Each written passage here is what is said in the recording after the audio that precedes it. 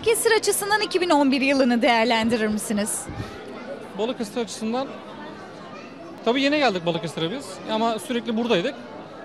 Ee, işte yazdan Bağlantınız vardı Balıkesir. Var, tabii ilçede olduğumuz için sürekli geliyorduk buraya biz. İşte 6 aydan beri de sürekli ikamet halindeyiz burada. Tabii yeni yeni iş yerleri açılmasını dileriz. Şu anki bulunduğumuz mekan yetmiyor herhalde. Bilhassa havaların soğumasıyla birlikte bütün çocuklu anne babalar buraya akın ediyor. Yeni yeni iş yerleri açılırsa memnun olacağız çocuklarımız da yani. Şimdi Balıkesir'de gelişen bir sanayi var. Yani yeni oluşumlar var. E, bununla ilgili tabii ki işte organize sanayimizin biraz hareketlenmesi, işte belediye çalışmaları gibi faktörler. Yani biz tabii yani Balıkesir bir çivi çakırsa bundan mutlu olabilecek işleriz. E, bunları da gördükçe veya işte başarılar işte yani bu başarılar illaki bizim çevremizde olması değil yani genel anlamda başarılar geldikçe her zaman için Balıkesir'de bir şeyler yapılma imajı olunca hoşumuza gidiyor. Ha Balıkesir'in ne yapması lazım? Belki ben şahsi kanaatim. Mesela bir tane 5 yıldız otelimiz yok.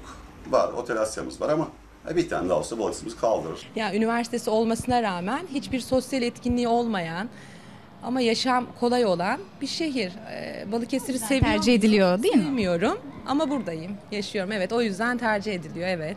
Balıkesirli yetkililere, valimize, belediye başkanımıza iletmek istediğiniz bir şikayetiniz var mı? Gidilebilecek yer açısından ya da atıyorum sosyal etkinlik açısından çocuklarımızı gö- mesela burası var bir AVM.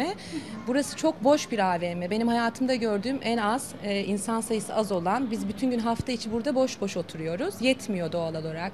Ben kızımı getiriyorum atıyorum ya da kızımı götürebileceğim işte bir tiyatro etkinliği, işte bir ne bileyim farklı mesela ben bowling oynamayı çok seviyorum. Mesela bu AVM'de bir bowling olabilir.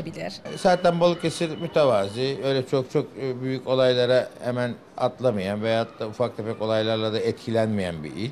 Ağırlıklı memur ve hani maaşlı il olduğu için yani ekonomik yönden de olsun, diğer yönlerden de olsun öyle çok fazla sarsılmayan bir il. Yine normal geçti. Şimdi Balıkesir'de geçmiş dönemde başlayan bir yenilenme hareketleri başladı.